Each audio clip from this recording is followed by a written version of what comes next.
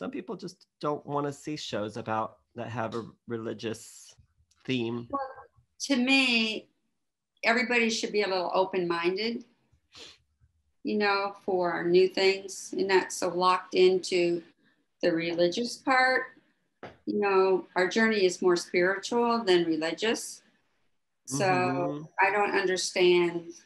I truly don't understand why somebody wouldn't be open to seeing a different view, um, somebody else's view. But I do have a couple of questions for you. I wrote them down. So, okay. okay. Sure. Ready? Got your coffee? Should I have a cocktail? well, I've got a screwdriver. well, it is afternoon there. Wow, that's true. Um, what inspired this? Is it you call it a play, a series? Um, how do you refer to it? This is a play. It's written as okay. a play. So, mm-hmm. what inspired that 10 years ago?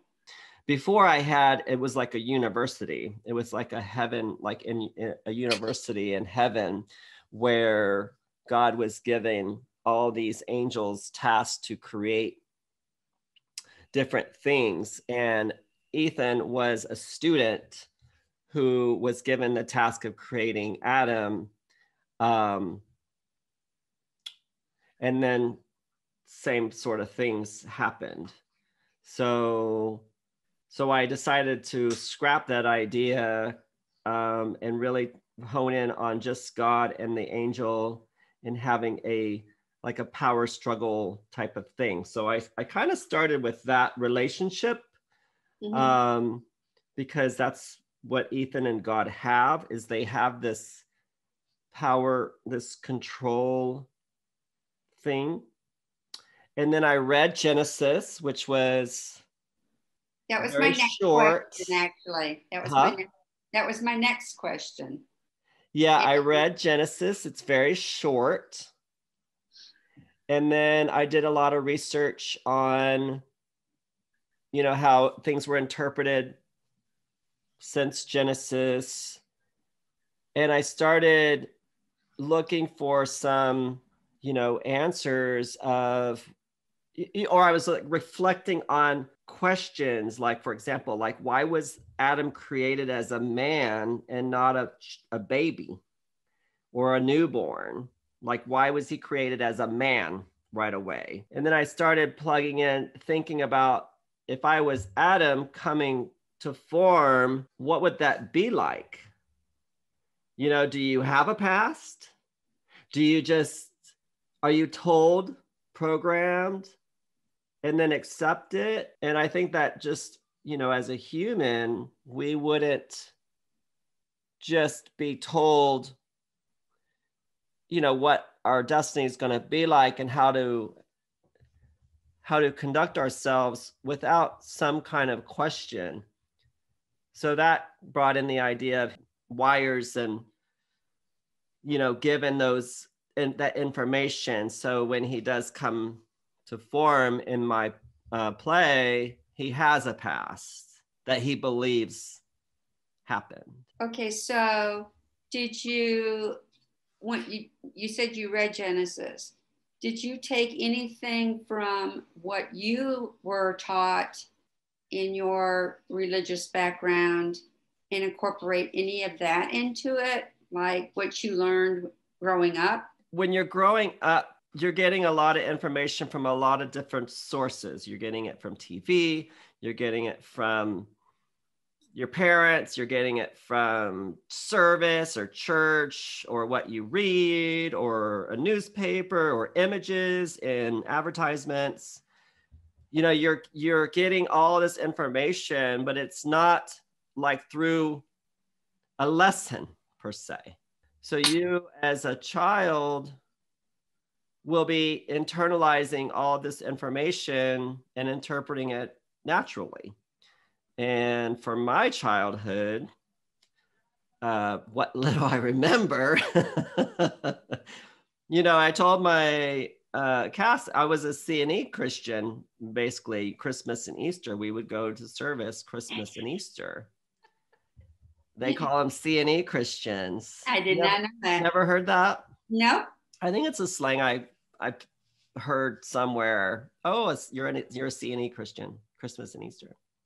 You know, and I didn't go to Bible school, and not that I remember. Did I? Went to catechism. And what is that exactly? I remember like puppets. They did puppets. that was like um, teachings, you know, according to the Catholic faith. I think you went for one hour. I don't know what you were taught. I was probably bored out of my mind and just playing with the puppets the whole time. I think it was about communion and, and you know, catech. Um, um, I can't even think of what it is now, but you know, those kind of things. But preparing you for communion, um, and things like that. Just, I'm sure it was very basic, not in, too in depth for younger people. You know, you're probably bored. Probably didn't pay attention. okay, what gave you the vision of what the characters would look like? I always thought uh, when I wrote it that the God was going to be a female. And so that was already in place. And I do leave it up to where every character can be any ethnicity.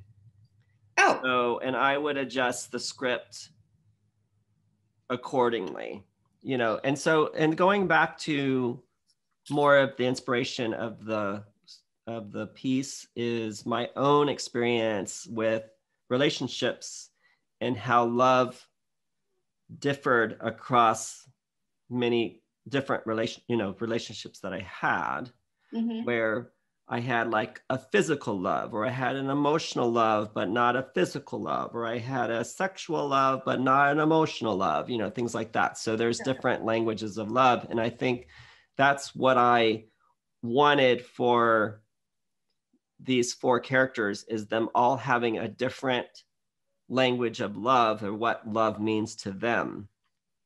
I also saw in some research about free will. Free will was something that God gave angels, is um, free will. So, and free will tied in with Ethan's language of love of choosing who you love or not choosing. So you did you read that somewhere that God gave the angels free will?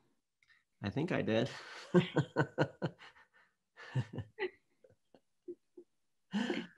uh, does that resonate with you at all about No. I sh- There's certain angels that God used, like Gabriel was the messenger.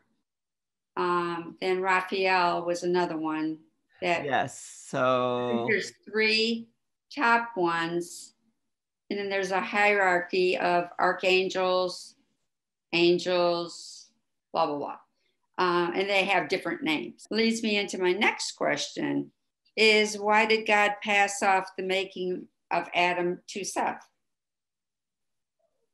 to Ethan I'm sorry, to Ethan. Okay, Seth.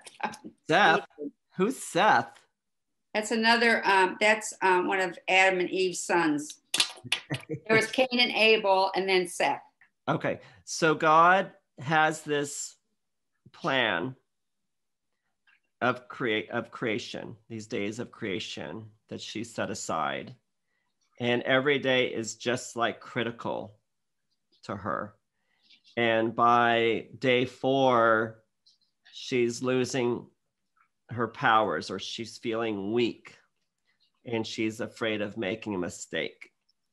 And her entrusted angel, Ethan, has always been by her side whenever she's needed him the most.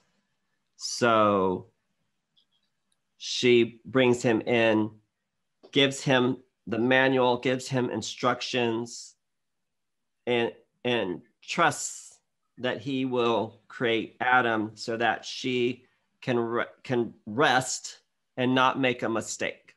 Okay. So so that created the opportunity for Ethan to step in and exercise his free will. Okay. I just looked it up. So, yeah, so angels did have free will, but they could not sin. They could not sin. Okay. They could not sin as long Okay. as they didn't sin. Okay. Thank you for, I did not know that.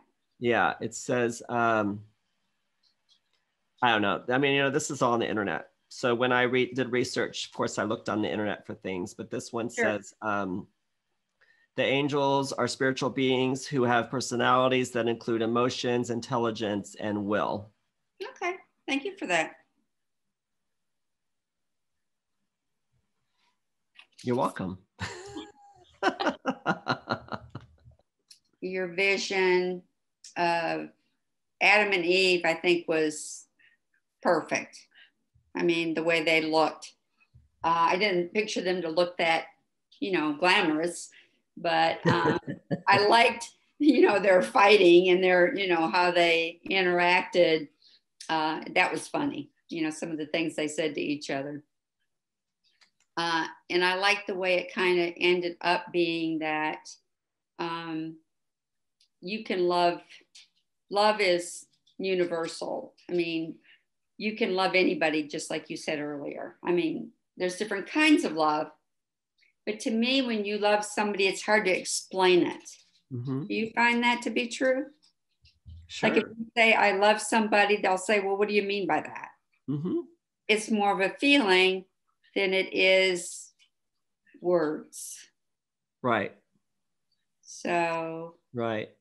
And each character communicates their perspective on love and what they need to both love and be loved. mhm. Even God mentioned it I several mean, times.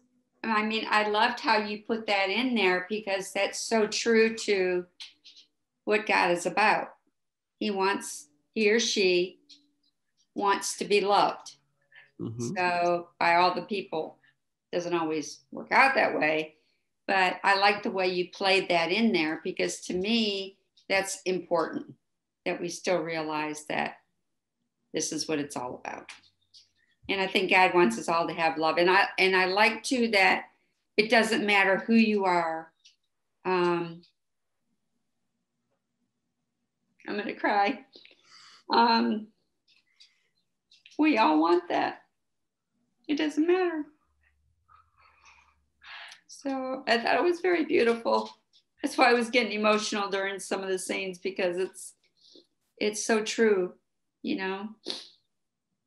Some people never find it, but they keep looking. Mhm.